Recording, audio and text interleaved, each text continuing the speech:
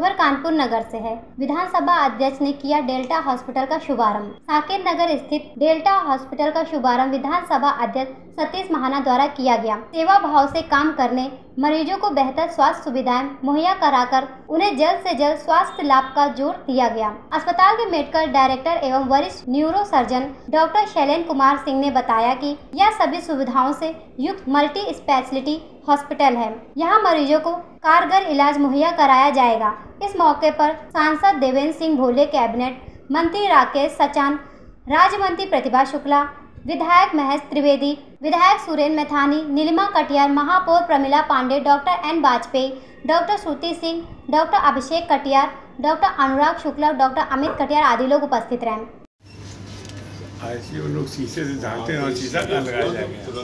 नहीं शीशे नहीं वहाँ ना दूसरे अस्पतालों में कि शीशे देखो। लगेगा। तो वहाँ दिखाई दे और भी तो चला ये से आवाज़ सुना लगे अच्छा। वहीं से बात भी करा देंगे पेशेंट के अंदर जाना पीछे हॉल का सब उन्हें अंदर लोग नहीं लेते ना शीशे में से देख लो तो ठीक चल रहा है।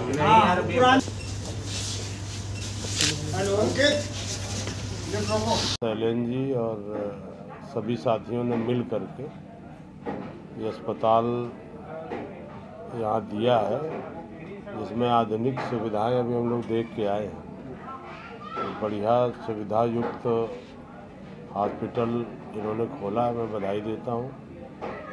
कानपुर में अभी तक कुछ अस्पताल थे जहाँ लोग जाते थे रिजेंसी और इस तरह से कुछ सेंटर थे लेकिन अब एक दक्षिण में भी एक अच्छा सेंटर बना है इसके लिए। मैं इनको बधाई देता हूँ और इनसे उम्मीद करता हूँ कि अ, अस्पताल चालू हुआ सेवा भाव से काम करेंगे और लोगों की मदद करते हुए इलाज करेंगे। अच्छा ये भरोसा है हम लोगों को। यही उम्मीद है आप लोगों से। हॉस्पिटल का उद्घाटन हुआ है, जिसमें मेनली ये एडवांस सेंटर है ब्रेन एंड स्पाइन के बीमारियों के लिए।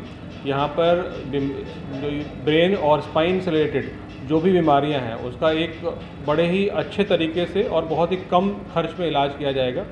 खासियत और भी है कि यहाँ पे स्पाइन का जो ऑपरेशन है, वो केवल एक टाँके वाले ऑपरेशन जिसमें हम अगले दिन मरीज़ को भेज देते हैं घर पे, जिसको एंडोस्कोपिक स्पाइन सर्जरी कर रहे हैं, जो कानपुर में संभवतः पहली बार हो रही है।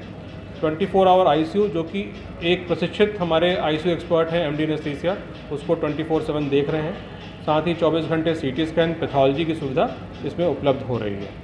इसके अलावा और भी विभागों के डॉक्टर जैसे कि ऑर्थोपेडिक्स यूरोलॉजी कार्डियोलॉजी और गायनिक की नियमित रूप से ओपीडी इसमें संचालित हो रही है। गरीब मरीजों के लिए क्या कुछ सुविधाएँ आपने इसके बारे में? गरीब मरीजों के लिए सर्वप्रथम तो ये है कि हम लोग इसमें जो कॉरपोरेट हॉस्पिटल्स हैं उससे इनका खर्च बहुत ही कम कर पे रख रहे हैं। और साथ ही साथ जो मोदी जी की योजना है, आयुष्मान योजना, उसको भी पहली बार कॉरपोरेट सेक्टर में हम लोग लेके आने के लिए कर रहे हैं कि सुपर स्पेशलिटी ट्रीटमेंट आयुष्मान की दरों पर प्राइवेट जगह पर मिले, इसकी भी शुरुआत करेंगे हम लोग।